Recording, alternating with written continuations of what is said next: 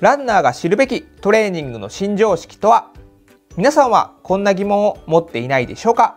運動をやめたらどれくらいの期間能力は維持されるのか？どうすれば効果的に怪我を予防できるのか？もしくはこう聞くとどう思うでしょうか？レース中に足がつるのは？実はナトリウムやカリウムマグネシウムなどの電解質不足のせいではない。風邪をひいた時こそ実は運動する方がいいと。どうでしょうか？えと思わないでしょうか？常識だと思っていたことが実は非常識だった。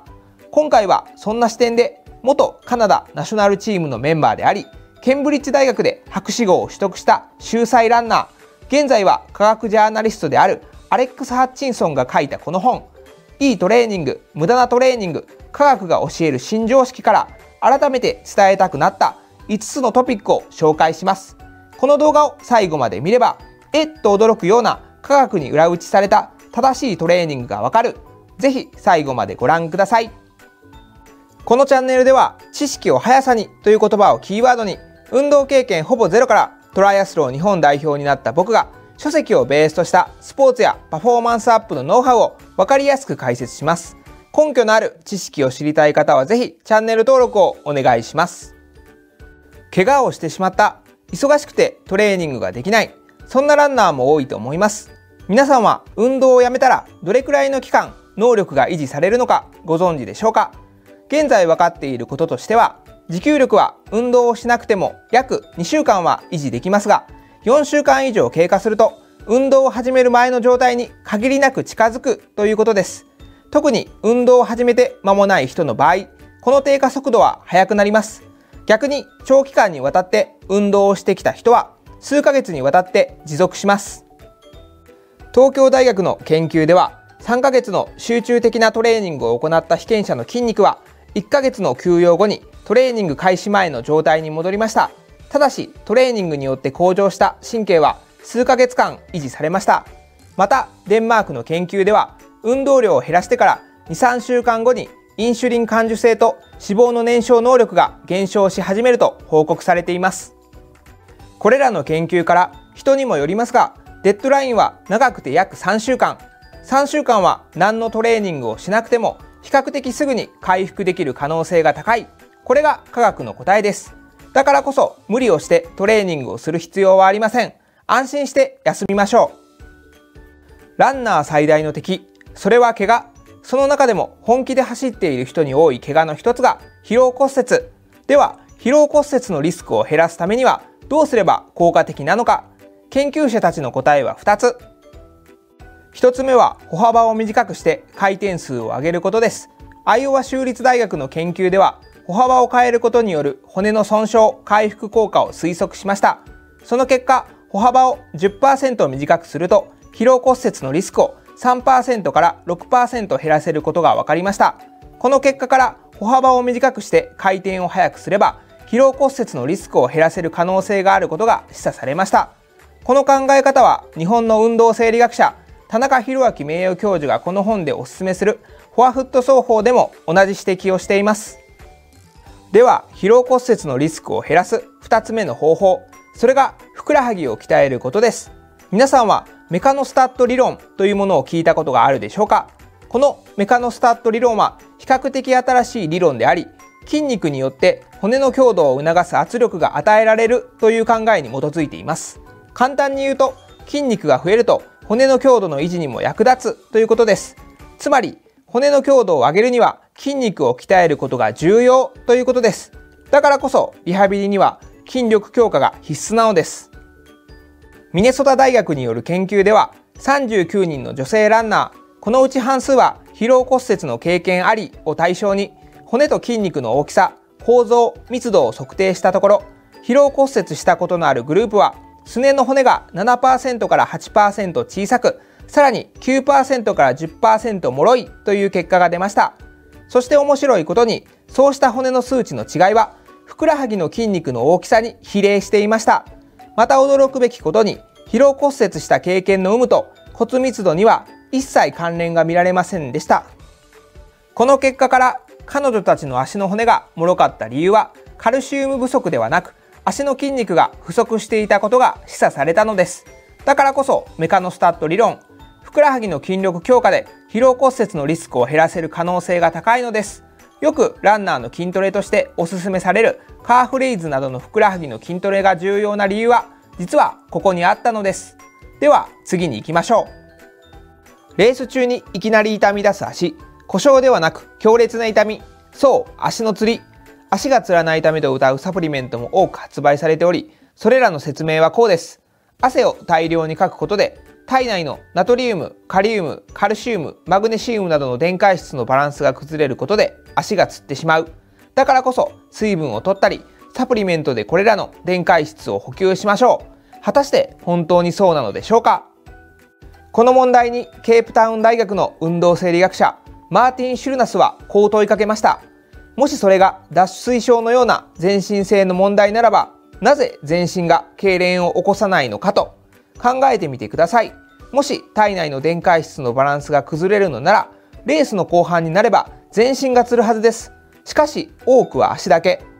この疑問の答え、足がつるのは電解質のバランスが崩れるというより、収縮を誘発する興奮性入力と弛緩を誘発する抑制性入力のアンバランスによって起こるという仮説です。このアンバランスを起こしている原因が筋繊維の破損である。だからこそトレーニング不足のランナーがレース後半に足がつりやすいのは電解質云々より筋肉の耐性がついていないためそうです元も子もない話ですが足のつりを防ぎたければ練習量つまり距離走が必要なのですでもこう思いませんか？トレーニングを積んだエリートランナーやアマチュアのシリアスランナーでも足がつっているじゃないかと。そうなんです。それについてシュルナスが行った研究で明らかになった2つの事実。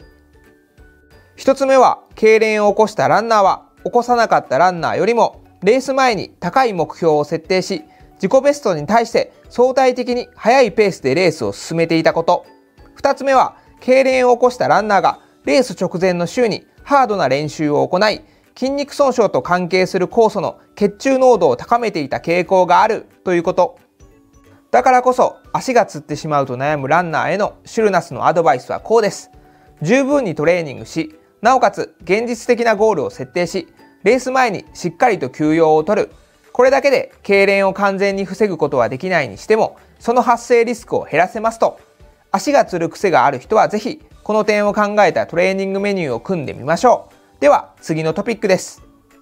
体調が少し悪いみたい。風邪をひいたのかも。今日は練習をやめておこう。当たり前ですよね。しかしなんとなんと風邪で体調が少し悪い時は運動をした方がいい。これがまさかの科学的な答えなのです。一体どういうことなのか。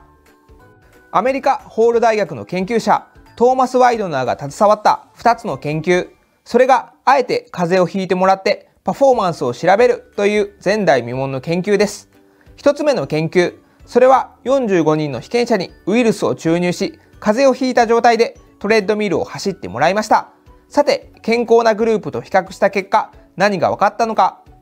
なんとランニングの成績や心肺機能などの生理反応のどれをとっても両グループには違いは見られなかったのです。つまり風邪をひいてもアスリートとしてのパフォーマンスが低下するわけではないのです。そして2つ目の研究。これも同じように被験者50人に風邪をひいてもらい半数は何もせずに安静にしてもらいます。一方もう半分は最大心拍数の70%での運動1日おきに40分間行ってもらいました。ではパフォーマンスはどうなったのか。なんと両グループの症状の重さと継続時間には差が見いだせず意外にも運動したグループの方が安静にしていたグループよりも少しだけ気分が良くなったと報告されましたそうなのですこれらの研究から風邪をひいた場合は運動をした方がいい可能性が示唆されたのです実際に風邪をひいている時の軽い運動が気分を若干良くするというワイドナーの発見を裏付ける事例はたくさんあると著者は指摘しています。もちろん、だからといって高熱や極度の体調不良で運動をすることはお勧めできません。だからこそワイドナーは首チェックというルールを提案しています。それは体調不良が首から上の症状、くしゃみや鼻水、喉の痛みなら運動してもよく、首から下の症状、発熱や筋肉痛などなら様子を見た方がいいというものです。もし風邪をひいた時はこの首チェックによって判断してみてください。さて皆さんはこんな事実をご存知でしょうか？なんと2004年まで世界アンチドーピング機構 WADA はある物質を規制対象にしていたという事実を。そうある物質とはカフェインです。しかしご存知の通り現在は合法です。この出来事からカフェインはそこまで効き目がないかのように思われがちですがその分野の第一人者であるカナダのゲルフ大学テリー・グラハム博士はこう言っています。カフェインは一般的に認識されているような効果の低いドーピング物質ではないと思います。他の物質以上に様々な効能があると考えられているのですと。実際に長年の研究からカフェインは精神の働きを助け摂取してから2時間は持久力が向上することが確証されています。さらにウェイトリフティングのような運動にも役立つことも分かってきました。しかしカフェインと聞くとこのようなデメリットを思い浮かべる人も多いかと思います。それは利尿作用です。カフェインを摂ると水分が体から出ていき脱水症状の原因となり持久系の競技ではパフォーマンスに支障が出るという反論です。しかし先ほどのテリー・グラハム博士はこうした意見を完全に否定しています。さらにカフェインと聞くとよく耳にするこの常識。カフェインを摂ると体内の脂肪燃焼効率が上がりパフォーマンスがアップするというもの。しかしテリー・グラハム博士によればこの説が間違っていることも立証されているとのこと。ではなぜカフェインを摂るとパフォーマンスの向上につながるのでしょうか？現在有力なのはカフェインが筋繊維の収縮に細胞レベルで直接影響しており神経系から信号が送られると筋繊維がより緊密に収縮するようになるという仮説です。ただしカフェインとコーヒーは別物です。グラハム博士は錠剤のカフェインとコーヒーとで効果を細かく比較しましたが意外にもカフェインの血中濃度が等しい場合純粋にカフェインだけの方がパフォーマンスの向上が見られると指摘しています。コーヒーにはカフェインだけでなく生物活性原料が含まれているためそれらの物質が複雑に作用し合いパフォーマンスの違いが現れたとグラハム博士は考察しています。このようにカフェインはパフォーマンスアップを謳うサプリメントよりよっぽど確かな効果を得られる可能性が高いのです。まさに合法ドーピングなのです。概要欄におすすめのカフェイン入りの補給食やカフェイン錠剤を紹介しておきます。後半のここぞという時に戦術として投入すれば自己ベストの更新が達成できる可能性が高まります。これが科学の答えです。以上5つのトピック。運動をやめたらどれくらいの期間能力は維持されるのかどうすれば効果的に怪我を予防できるのかレース中に足がつる本当の理由風邪をひいた時こそ実は運動をする方がいいカフェインの驚くべき効果などこの本の中で特に面白かったと感じたトレーニングに関する常識非常識をまとめてみました。少しでも気になった方はぜひ本書をお取りください。このチャンネルでは運動経験ほぼゼロからトライアスロン日本代表になった僕が書籍をベースとしたマラソンのノウハウやモチベーションを上げるヒントを分かりやすく噛み砕きながら解説します。もしよろしければチャンネル登録をお願いします。それではまた次回お会いしましょう。